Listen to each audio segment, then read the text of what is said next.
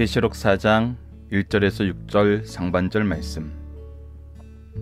이후에 내가 보니 하늘에 열린 문이 있는데 내가 들은 바 처음에 내게 말하던 나팔 소리 같은 그 음성이 이르되 이리로 올라오라 이후에 마땅히 일어날 일들을 내가 내게 보이리라 하시더라. 내가 곧 성령에 감동되었더니 보라 하늘의 보좌를 베풀었고 그 보좌 위에 앉으신 이가 있는데 앉으신 이의 모양이 백옥과 홍보석과 같고 또 무지개가 있어 보좌에 둘렀는데 그 모양이 녹보석 같더라. 또 보좌에 둘러 24 보좌들이 있고 그 보좌들 위에 24 장로들이 흰 옷을 입고 머리에 금관을 쓰고 앉았더라. 보좌로부터 번개와 음성과 우레소리가 나고 보좌 켠 등불 일곱이 있으니 이는 하나님의 일곱 영이라. 보좌 앞에 수정과 같은 유리 바다가 있고 아멘. 안녕하세요. 승리한 상 가족 여러분 그리고 강성 성경 연구원 여러분 오늘은 계시록 4장 1절에서 6절 상반절까지의 말씀입니다. 하나님의 권위와 위엄을 찬송하는 성도들이 되자라는 제목으로 말씀을 함께 나누도록 하겠습니다. 자, 1절 말씀입니다. 이일 후에 내가 보니 자 일곱 교회 보냈던 그 편지에 대한 말씀이 끝나고 난 다음에 사도 요한이 보게 되는데 하늘 문이 열려 있는데 자 하늘 문이 열려 있다라는 것이 지금 우리가 어디서 볼 수 있었습니까? 바로 예수님께서 우리에게 말씀하셨던 그 내용의 성취 안에 있죠. 그가 문을 열면 닫을 자가 없고 닫으면 열 자가 없는 그 분이 우리에게 열린 문을 주시겠다고 약속하셨어요. 그 예수님께서 이 문을 여신 것입니다. 그리고 이 문을 보여주신 거예요. 그리고 어떻게 하냐면 내가 들은 바 처음에 내게 말하던 나팔 소리 같은 그 음성이 이르되 이리로 올라오라라고 얘기하고 있습니다. 올라오라고 말씀하고 계세요. 자, 올라오고 이 올라와서 무엇을 보게 하시냐면 마땅히 일어날 일들을 내가 내게 보이리라 하시더라. 앞으로 일어날 일들에 대하여 마땅히 일어날 일이다 그랬어요. 반드시 일어날 일이란 거예요. 누구의 계획 속에 있다는 거예요? 하나님의 계획 속에 있다는 거예요. 반드시 성취되시는 하나님의 계획 속에 있는 그 일들을 우리에게 보여주신다고 얘기합니다. 사, 세르, 사도 요한을 통해서 이것을 우리에게 나타내시는 것이죠. 자, 2절을 봅시다. 내가 곧 성령에 감동되었더니 근데 이 일을 볼 수 있는 것은 우리가 어떻게 볼 수 있냐면 우리가 그냥 이성적인 한계로 우리의 지식으로 우리의 능력으로 볼 수가 없어요. 하나님의 계획은 철저하게 누구를 통해서만 볼 수 있어요? 바로 성령의 인도하심을 통해서만 볼 수 있어요. 삼위일체 하나님 안에서만 볼 수 있는 거예요. 그래서 성령에 감동되었더니 보라 하늘에 보좌를 베풀었고 그 보좌 위에 앉으신 이가 있는데 이제 그 보좌에 앉으신 이가 얘기를 해요. 자, 그 보좌에 앉으신 이는 누구였습니까? 바로 예수 그리스도였죠. 그리고 나서 이 예수 그리스도의 모습에 대해서 설명을 하는데 보십시오. 앉으신 이의 모양이 벽옥과 같고 홍보석 같고 또 무지개가 있어 보좌를 둘렀는데 그 모양이 녹보석 같더라. 결국 벽옥과 홍보석과 녹보석 세 가지로 지금 보좌에 앉으신 일을 얘기해요. 자, 우선 보좌에 앉으셨다는 거에 대해서 라오디아 교회에 대해서 얘기를 할 때 마지막에 예수님의 모습에 대해서 얘기할 때 예수님께서 보좌에 앉으시고 그 보좌에 우리도 함께 앉게 하시겠다고 얘기했어요. 자, 예수님이 어떤 분이라고 우리에게 가르쳐 주고 그 모습이 고스란히 성취되는 것을 우리에게 보여줍니다. 자, 보십시오. 예수님은 어떤 분이십니까? 백옥과 같다는 것은 우리가 21장에서도 나타나는 부분인데 크리스탈 같다는 거예요. 하얗다는 거예요. 이것은 무엇을 상징해요? 거룩함을 상징합니다. 성경에서 하얀 것은 하나님의 거룩함, 하나님의 의를 항상 얘기하고 있어요. 홍보석은 뭐예요? 바, 붉은색이에요. 붉은색은 항상 심판하시는 거. 모든 것을 아시는 거. 그래서 모든 것을 아시고 모든 것을 심판하시는 분을 얘기해요. 그리고 나서 무지개가 있고 했을 때 우리가 무지개 하면 딱 뭐가 생각납니까? 바로 노아 때 우리에게 주셨던 이 무지개 언약이 생각나죠. 이 무지개 언약 안에서 그 녹보석 같다는 건 뭐예요? 푸른색은 항상 무엇을 얘기하냐면 우리에게 주시는 은혜, 축복을 얘기합니다. 자, 이것을 보십시오. 이것이 성경 전체에서 우리에게 나타나는 하나님의 모습을 보여주는 모습과 똑같아요. 태초에 천재를 창조하시고 그 거룩하신 분이 우리에게 복되고 거룩함으로 이끌도록 안식일을 제정하신 그 분이 그래서 하나님의 뜻대로 모든 것을 세우시고 우리를 사랑하시기 위해서 이 천지 창조를 하신 그 분이 우리가 죄를 지었을 때 어떻게 됐어요? 그 안에서 심판받을 수밖에 없어요. 우리 모든 것을 감찰하고 계시는 예수님이세요. 그러나 우리가 심판 안에서 진멸되는 게 아니었어요. 그 안에 뭐가 있었어요? 하나님의 은혜가 있었어요. 엄밀히 말하면 하나님의 은혜는 항상 있었어요.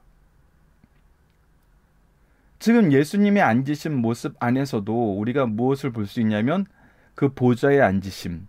그가 벽옥 같고 홍보석 같고 무지개가 있는 보좌에 둘러는 녹보석 같다라는 이 모습을 통해서도 예수님이 어떤 분이심을 우리에게 1, 2, 3장에서 나타냈던 모습 그대로임을 우리가 볼 수 있습니다. 그리고 나서 또 놀라운 것이 4절입니다.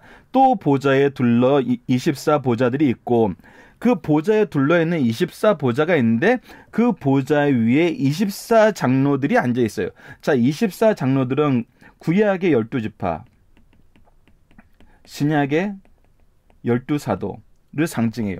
즉 뭐예요? 하나님의 백성을 상징해요. 하나님의 자녀됨을 상징해요. 근데 그들이 보좌에 앉아 있다는 거, 라오디아 교회에 약속하셨던 그 언약의 성취라는 거예요. 그들이 이 보좌에 올라갔다는 거, 우리가 에베소 교회에서 어, 볼수 있었던 생명나무의 열과를 먹었다는 걸 의미를 해요. 자, 그리고 나서 그들이 흰 옷을 입었어요. 우리가 흰 옷을 입은 거에 대해서는 4대에서도 우리에게 흰 옷을 입을 거라고 얘기했어요. 하나님의 거룩함의 의를 입을 거라고 얘기했어요. 그리고 그 머리에 근간을 쓰였다는 거예요. 우리에게 생명의 관을 주셨다는 거예요. 즉 우리의 지금 4절의 모습이 무엇을 설명해요? 예수 그리스도께서 앞에서 일곱 교회를 통해서 우리에게 주시고자 하셨던 그 소망의 약속이 어떻게 됨을 우리에게 보여주고 있어요? 온전하게 성취됨을 보여주고 있어요. 시간을 창조하신 하나님께서 시간을 초월하셔서 우리의 모습이 어떨지 미리 보여주고 계시는 거예요. 일어날 일들에 대해서 미리 보여주고 계시는 거예요. 무엇이 일어 무엇이 일어나는 거예요? 하나님의 언약의 언약의 성취가 일어나는 거예요. 그 말씀대로 신실하게 모든 것이 이루어짐을 우리에게 보여주고 있어요. 이 천국의 모습, 마지막 때의 모습은 무엇과 전혀 다르지 않아요? 이미 성경을 통해서 하나님께서 예수 그리스도를 통해서 우리에게 보여주신 모습과 다르지 않다는 거예요. 자, 5절을 봅시다. 보좌로부터 번개와 음성과 우레소리가 나고 이것은 시내산에서 언약 받았을 때 모습과 동일한 모습으로 우리에게 보여주고 있죠. 이것은 무엇이에요? 하나님의 주권과 통치와 심판을 얘기해 주고 있습니다. 그리고 보좌 앞에 켠 등불 일곱이 있으니 이는 하나님의 일곱 영이라. 그 앞에 성령이 영이 함께 있어요. 앞에 있어요. 성령께서 우리에게 이것을 가르치시고 이곳으로 인도하셨어요. 그리고 하나님의 뜻 안에서 예수 그리스도의 보좌 앞에서 이 일을 행하셨어요.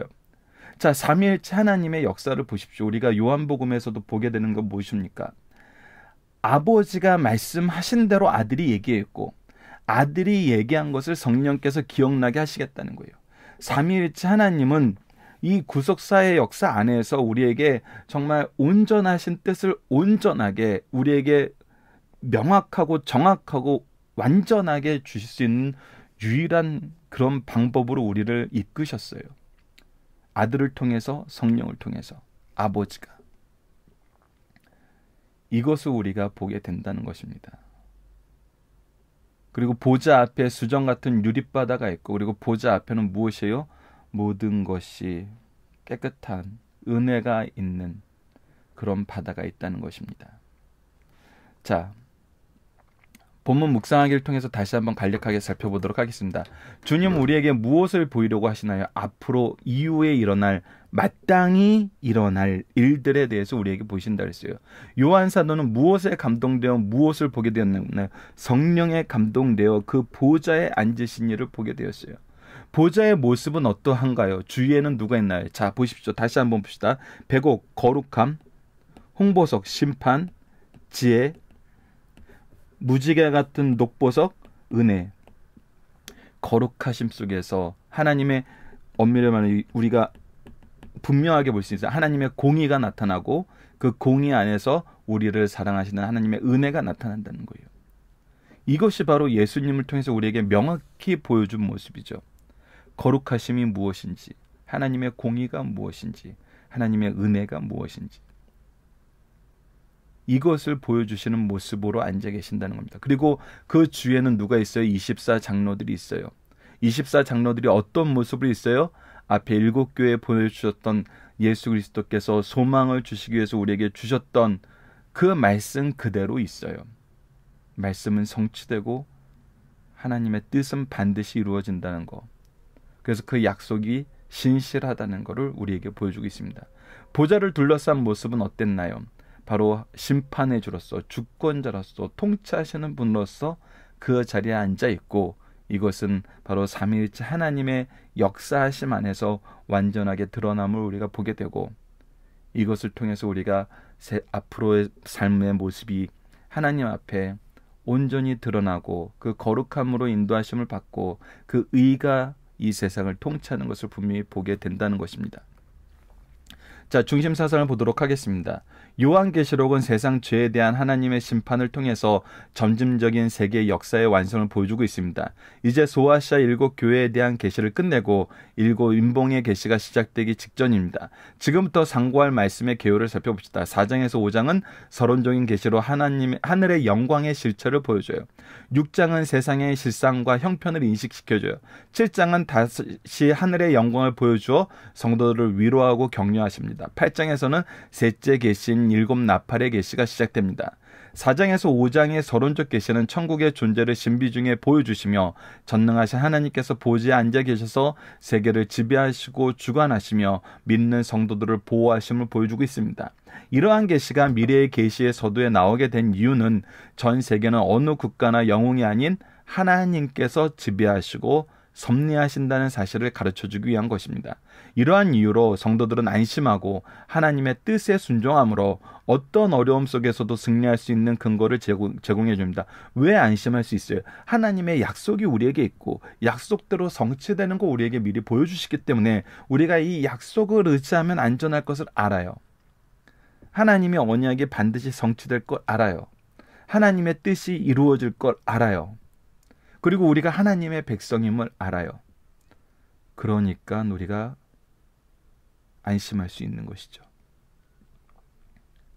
이런 맥락에서 사장은 창조주 하나님의 계시로 만물의 기원에 대한 웅장한 계시를 5장은 어린 양 예수의 구속의 계시로 타락한 인간을 구속하시는 사랑과 구원의 확실성을 제시해 줍니다. 즉 우리가 예수님의 모습을 통해서도 거룩하신 그분이 공의로우신 홍보석을 통해서 공의로우심 그리고 녹보석을 통해서 은혜로우심을 보여주는 것처럼 앞으로 4장과 5장의 말씀도 그러한 맥락에서 계속 우리에게 보여주고 있다는 것입니다.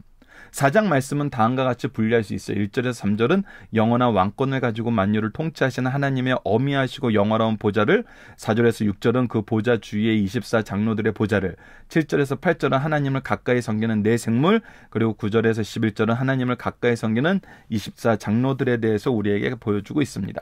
자, 오늘 말씀의 중심 사상을 하나씩 보도록 하겠습니다. 첫 번째입니다. 성령을 통하여 열려있는 하늘 보좌는 실존하는 천국 세계이며 모든 실존 세계의 중심이요 근원입니다. 이것이 성경을 통해서 우리에게 가르쳐 주는 말씀의 핵심이고 결론이에요. 이 실존 세계는 하나님 자신, 성부, 성자, 성령의 계시에 의해서만 바로 볼 수 있어요. 음성을 들을 수 있으며 그 신비의 영광을 찬양할 수 있어요. 이곳 하늘 보좌는 우주의 중심이요 근원이며 통치하는 장소입니다. 모든 계시 사건의 중심이며 성도들의 영원한 본향입니다. 그러므로 이를 보고 믿는 모든 성도들은 만물이 주에게서 나오고 주로 말미암고 주에게로 돌아감을 찬양할 수밖에 없다는 사실을 보여주고 있습니다. 바로 로마서 11장 마지막 절 말씀에 대한 이 교훈, 이 믿음의 확실성을 우리에게 다시 한번 증명해주고 보여주고 있는 것입니다. 자, 두 번째 중심 사상입니다. 하늘나라에는 하나님의 보좌가 있어 하나님의 영광이 충만하다는 것입니다. 하나님의 보좌에는 영광이 충만해요. 이는 하나님 자신의 본체의 영광, 곧 그분의 거룩함과 의로움과 자비와 권능과 영원성 때문입니다. 이는 부정과 부패와 부조리로 얼룩진 지상 군왕들의 보좌와 대조됩니다. 세상 모든 권력과 영화는 하나님으로부터 파생된 것이므로 근원적 권력인 하나님께 순복해야 합니다. 이처럼 하나님께 도전하고 멸망하지 않은 권력이나 세상 세력은 없다는 놀라운 사실을 확인시켜 주시는 말씀입니다. 오직 하나님의 보좌에 영광만 남게 되고 그 영광 안에서 심판이 이루어지게 된다는 것입니다. 세 번째, 하늘 보좌 주변에 수종도는 자들의 모습과 사역은 너무나 고귀하고 영광스럽습니다. 동시에 수종도는 자들에게 교훈이 됩니다. 저들은 용맹, 사자, 희생과 충성, 소, 지혜, 삶, 고결함, 독수리 등은 이것이 이제 내 생물에 대한 부분이고 우리가 이것이 어, 많은 그 어떤 기독교 예술에서 이 사복음서의 저자들을 상징하는 것이라고 이렇게 얘기하기도 하고 이 각각의 가지고 있는 이 성경적인 의미에 대해서도 우리가 오늘 우리가 보는 것처럼 사자는 용맹을, 소는 희생과 충성을, 사람은 지혜를, 독수리는 고결함을 나타내는 것을 우리가 앞으로 계속 나누게 됩니다. 등은 지상교회 사역자들이 본이 됩니다. 그들의 끊임없는 활동성과 기밀성은 그들이 얼마나 우월한 피조물, 천사들인가를 보여줘요. 이 말씀을 통해서 구원받은 성도들도 이 영광에 참여하게 될 것이요. 우리의 신부는 천사보다 우월하기에 더욱더 경건과 충성을 다짐하게 됨을 우리 24 장도를 통해서 시작되어서 앞으로 계속 보게 됩니다. 자, 살펴보기 정답은 여러분들 카페를 통해서 확인해 주시고요. 특히 이 열린 문은 어떤 문인가에 대한 성경적인 설명과 해설이 아, 굉장히 많이 있으니까 이 부분은 여러분들께서 꼭 살펴보기 정답을 통해서 살펴보기 정답에 나와 있는 거는 박열 목사님의 강해집의 내용을 여러분들에게 소개해 드리는 것입니다. 그래서 강해집이 있는 분들은 이 강해집을 참조하시고 없는 분들은 꼭 살펴보기 정답은 여러분들께서 어, 다운로드 받으셔서 보시면서 함께 학습해 주시기를 부탁드립니다. 자, 적용하기입니다. 하나님의 영광 속에서 천국에 대한 미래의 소망을 가지는 것이 지금 우리의 삶에 어떤 변화를 줄 수 있을까요? 자, 우리가 어, 어제 말씀을 통해서 라오디아 교회에 대해서 얘기할 때 우리가 이 세상의 풍요로움 때문에 하나님 나라의 영광, 하나님 나라의 공의, 하나님 나라의 은혜, 그의 거룩하심을 우리가 소유하지 못한다면 그것은 성경에서 뭐라고 얘기하냐면 미련한 것이라 그래요. 어리석은 것이라 그럽니다. 우리가 가져야 되는 것은 천국에 대한 소망이에요. 하나님 나라에 대한 소망입니다. 그분의 백성된 그분의 영원한 통치안에서 우리가 즐거워하는 거예요. 왜? 그것이 사실이고 그것이 결국이기 때문이에요. 마지막에는 그것이에요. 우리의 미래는 그곳에 있고 우리의 삶의 의미나 목적은 모두 그곳에 있어요. 왜? 하나님이 창조하실 때부터 그렇게 우리를 창조하셨기 때문에. 그런데 우리가 지금 그거 외에 다른 것에 신경 쓰여서 살고 있다는 것은 헛된 것, 일시적인 것, 미련한 것을 따르는 것이 된다는 것이죠.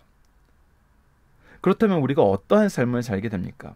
우리가 하나님의 것을 바라보면서 살아요. 천국의 것을 바라보면서 살아요. 어떻게 돼요? 세상 것에 일이 일비하지 않아요. 세상에서 우리가 해야 되는 일이 무엇인지를 알아요. 우리가 해야 되는 것은 세상적인 정욕을 따르는 삶이 아니에요. 하나님의 영광을 따르는 삶이에요. 하나님을 영화롭게 하는 삶이에요. 하나님을 영화롭게 하는 삶은 뭐예요? 하나님의 은혜의 복음을 전하는 거예요. 예수 그리스도를 전하는 거예요. 우리가 요한계시록 1, 2, 3 지금 4장에서 올 때까지 지금 누구에 대해서 계속 얘기하고 있어요. 누구와 얘기하고 있어요. 누구를 전하라 그러고 있어요. 오직 예수 그리스도입니다. 우리의 삶이 예수 그리스도를 전하는 삶이 되는 것이 우리가 가진 가장 큰 변화예요. 이전에는 내가 무엇인가를 얻는 거, 내가 무엇인가를 성취하는 거, 내가 누구와 비교되는 것만 생각했어요. 그러나 지금은 무엇만 봐요? 내 속에 예수 그리스도가 있는가? 내 자녀와 제자들에게 예수 그리스도가 소개되고 있는가? 그들을 통해서 또 예수 그리스도가 소개되고 있는가? 오직 우리 사이에 예수 그리스도가 있는가만 생각해요. 이것이 성도의 삶이고, 이것이 지혜 있는 삶이고, 이것이 보좌가 약속된 삶이라는 거. 이미 우리가 성경 전체를 통해서 또 요한계시로 시작을 통해서 확인하고 있는 내용입니다. 이 삶을 우리가 소유하고 이 삶을 기뻐하고 이 삶을 찬양하고 이 삶을 또 소망하고 이 삶을 계승할 수 있는 우리 승리한상 가족 여러분들 그리고 강성성경 연구원 여러분들 되었으면 합니다. 자 그래서 참된 예배 신령과 진정으로 드리는 예배는 어떤 예배인가요? 바로 하늘의 예시가 되는 천국의 예표가 되는 예배예요. 하늘의 찬양의 예표가 되는 찬양, 하늘의 기쁨이 예표가 되는 우리의 예배. 그것이 바로 우리의 예배인 것입니다. 말씀을 기초로 기도를 통해서 마치겠습니다. 하나님, 우리가 영원한 보좌 주위에 거룩한 옷을 입고 면류관을 쓰고 주님과 함께하는 소망을 주심을 감사합니다. 권능의 보좌를 바라보며 이미 우리에게 약속하시고 허락하신 미래를 소망하며 인내하게 하여 주소서. 놀라운 위엄을 찬양하며 오직 하나님의 영광을 위한 삶을 살게 하여 주소서. 예수님 이름으로 기도드립니다. 아멘.